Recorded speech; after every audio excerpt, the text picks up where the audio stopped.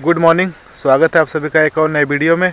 मेरा आज का नाइट स्टे जो था बेस्ट और बेटा में था, आज है 20 जनवरी। और आप सोच रहे होंगे कि कल का वीडियो मैंने एंड क्यों नहीं किया? वीडियो बनाया लास्ट में दिखाया नहीं कहाँ पे रुका था तो वीडियो मैंने ख़त्म नहीं किया था। वो आपको अभी बीच में बताऊँगा क्यों नहीं किया था। तो आज का वीडियो बेस्ट और बेटा से शुरू करते हैं और तिरुपति यहाँ से 245 किलोमीटर के आसपास डिस्टेंस है। तो चलिए यहाँ से चलते हैं। आगे कल्याणी थिएटर है जहाँ से मैं आश्रम पे गया था और वहाँ कोई वीडियो नहीं बनाया मैंने कोई भी वीडियो नहीं बनाया। और क्यों नहीं बनाया ये हम दोपहर में आपको बताएँगे। तो अभी चलिए चलते हैं। हाईवे पे पहुँचते हैं तो वापसी मिलते हैं। बेस्टर बेटा ये मार्केट है और ये जो हाईवे है हाईवे से नीचे मैं सर्विस रोड अ, अंदर से गया था जो कि कल्याणी थिएटर के पास से ही आश्रम का रास्ता था लगभग एक किलोमीटर अंदर था यहाँ पे।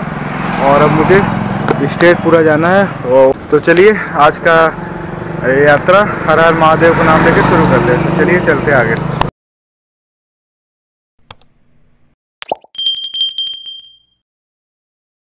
बाबा जी कहाँ बैठे हैं?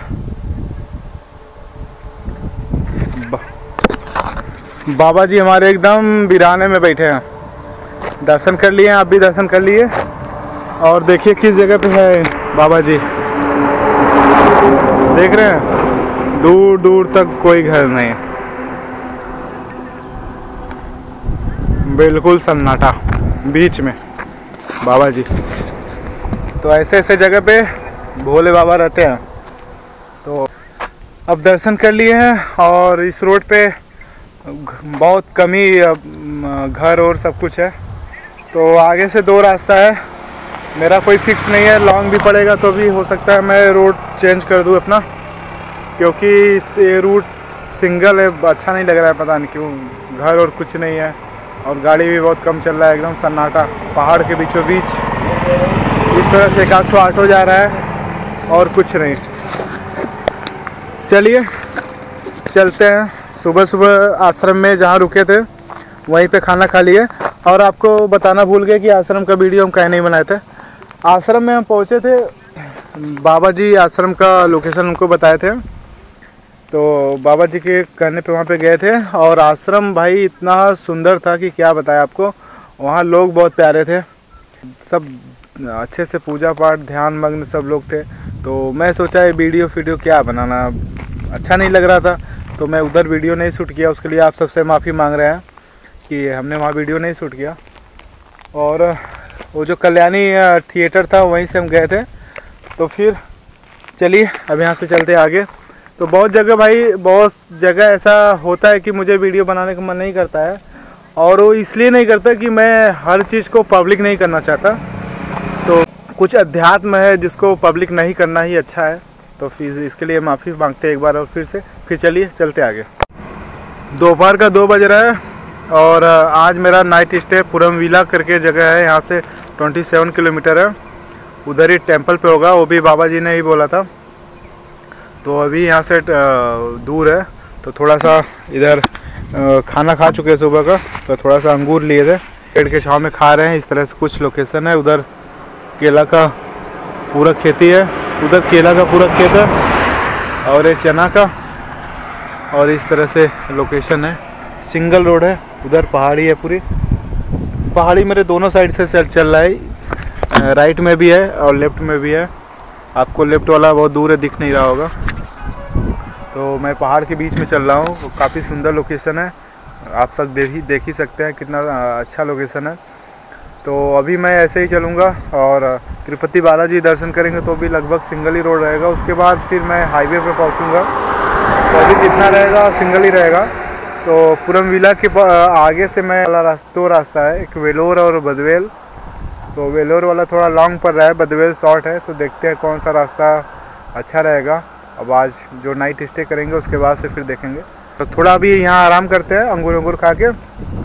उसके बाद 10 मिनट आराम करने के बाद चलेंगे, क्योंकि आज धूप नहीं है ज़्यादा। आज मौसम बढ़िया है तो आराम से चलते हैं। फिर से पहाड़ फॉरेस्ट स्टार्ट हो गया। आई थिंक 10 किलोमीटर तक का शायद फॉरेस्ट है। क्लियर नहीं है बाबा जी बोले थे बीच में 10 किलोमीटर तक का फॉरेस्ट मिलेगा, शायद यही है। चलिए, निकलते हैं।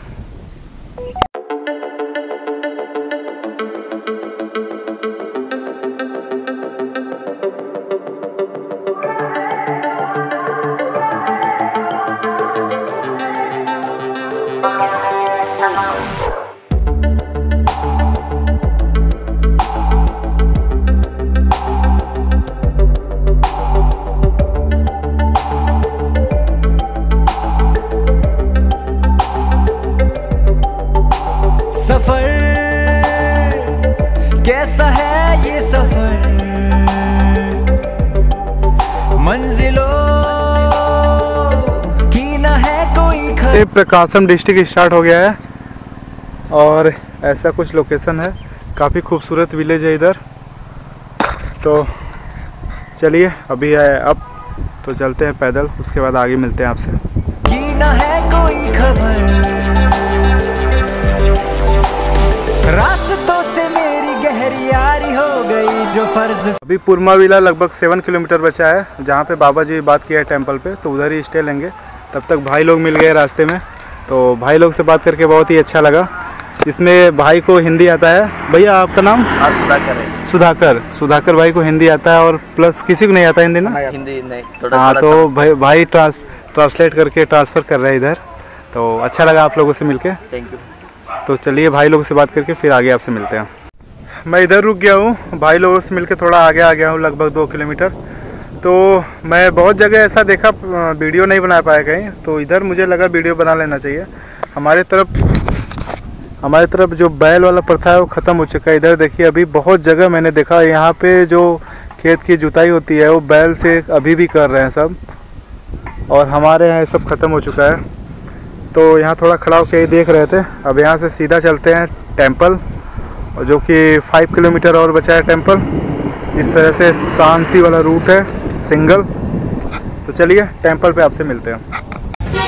आज का नाइट स्टे अपना पेट्रोल पंप पे हो रहा है। और जैसा आपको बताया था कि मैं मंदिर पे टेंपल पे रुकने वाला था, उधर उधर कैंसिल हो गया। वहाँ पे लोग मना कर दिए रुकने के लिए।